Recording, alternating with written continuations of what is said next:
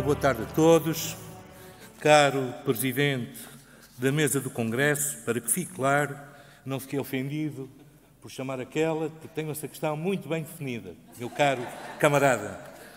Caro Presidente do PS Açores, meu amigo pessoal Francisco César, caro Presidente da JS, caros autarcas de Junta Freguesia e os nossos Presidentes de Câmara aqui presentes, uma saudação especial pelo trabalho que fazem diariamente em prol das nossas populações e do Partido Socialista e dos açorianos.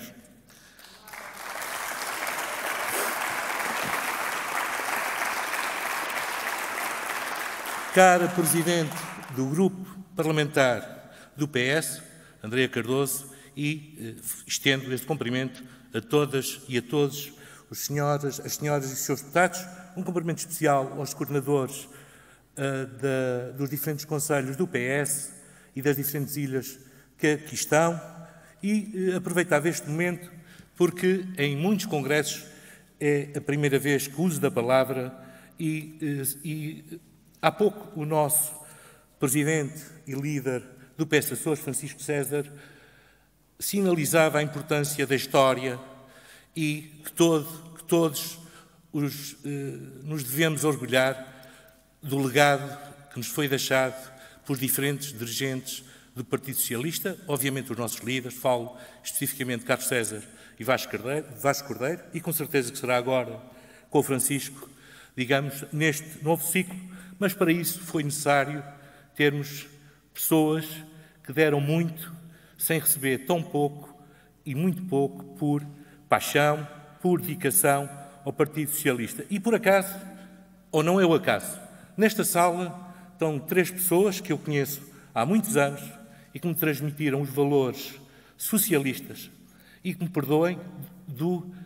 Eh, eu, quando falo socialistas, falo do PS Açores.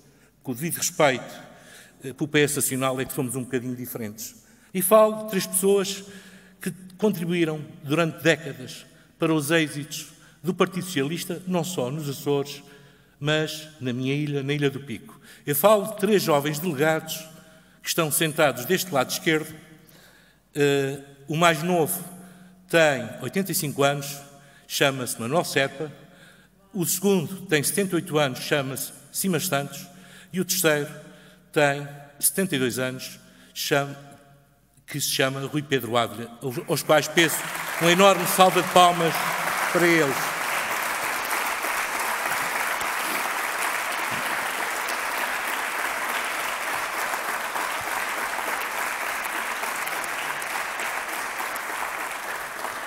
Já muito foi dito sobre o que foi feito no passado, sobre este enorme legado deixado por Vasco Cordeiro, mas também o que vai ser feito ou que perspectivamos eh, neste novo futuro.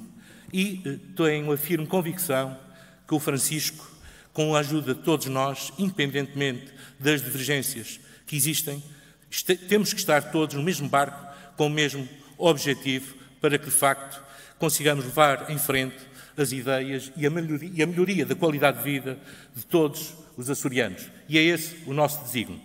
E, caras amigas, caros amigos e camaradas, é com grande honra que me dirijo a todos vós neste 19º Congresso do Partido Socialista dos Açores sobre um tema de vital importância para a nossa região e, naturalmente, para o nosso partido.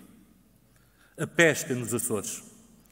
A pesca não é apenas uma atividade económica, é uma parte essencial da nossa identidade cultural e histórica. Desde os primeiros colonos, a pesca tem sido uma fonte de sustento e desenvolvimento para as nossas ilhas. As histórias e lendas dos nossos antepassados refletem a coragem e a resiliência dos pescadores açorianos que enfrentam os desafios do mar com bravura e determinação. Embora enfrentemos desafios como os efeitos das alterações climáticas, como a necessidade de proteger espécies ameaçadas e minimizar as capturas acessórias, também temos grandes oportunidades. A modernização da frota, de modo a diminuir as emissões, tornando-a mais verde e com menores custos operacionais. A manutenção das infraestruturas e a promoção de pescarias transparentes e sustentáveis são passos importantes e determinantes para garantir um futuro próspero para as nossas comunidades pescatórias. A criação da Inspeção Regional das Pescas tem sido um alicerce fundamental para garantir a sustentabilidade das pescas nos Açores, quer através da fiscalização, proteção de recursos e educação, assegurando que a pesca na região é realizada de forma responsável e sustentável, beneficiando do meio ambiente e as comunidades locais. Mas as evidências da falta de investimento nesta área começam a ser preocupantes. A falta de recursos humanos e meios de videovigilância, ferramentas fundamentais no apoio à fiscalização, são cada vez mais escassas. Quando se deveria investir fortemente neste domínio e neste serviço de inspeção, até por razões do alargamento e implementação das áreas marinhas a proteger, faz precisamente ao contrário. Isto é, anuncia-se mundos e fundos, como se diz na minha terra, e executa-se muito pouco ou nada. Infelizmente, os últimos três anos têm sido marcados pelo retrocesso, pela estagnação e pela instabilidade que o setor, que o setor pesqueiro vive, fruto da inação, da incapacidade e da falta de estratégia do Governo da coligação do PSD, CDS-PP e PPM. Vejamos, foram atribuídas mais competências de fiscalização à Inspeção Regional das Pescas, entretanto, sem reforçar os seus quadros inspectivos e os meios de fiscalização. Ao contrário, por exemplo, do que se passa com as sucessivas nomeações que o Governo faz diariamente para alimentar os seus compromissos eleitorais.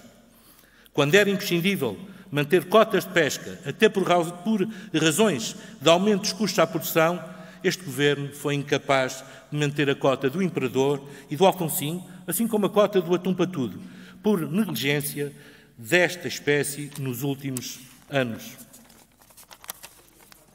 Reparem, este, e isto é curioso, este é o mesmo Governo que financia uma nova unidade de transformação, uma fábrica de conservas, e, no entanto, não quer permitir que os atuneiros açorianos exerçam a atividade de pesca em determinadas áreas ou proporem as zonas não take, ou seja, pretendem proibir a pesca ou atum nas áreas marinhas a proteger quando se trata de uma espécie migratória e quando a pescaria é artesanal, uma linha, um anzol.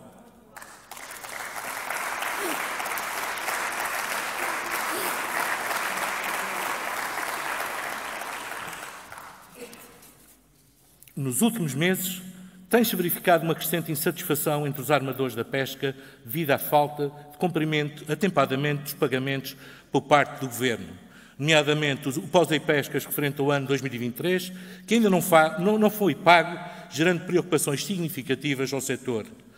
A situação tem sido amplamente criticada por associações de pescadores que exigem uma resposta rápida e eficaz do Governo para resolver este problema e garantir a estabilidade do setor pesqueiro. A pesca nos Açores vai além de uma simples atividade económica. É uma parte essencial da nossa herança e do nosso futuro.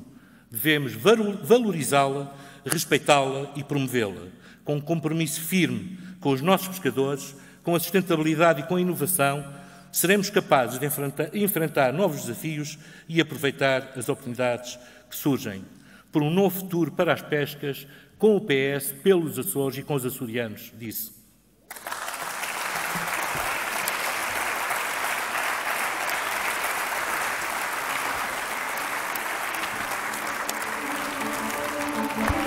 Muito obrigado ao nosso camarada Mário Tomé e agora convidava a nossa camarada Gra... convidava a nossa camarada Graça Silva para fazer uma intervenção.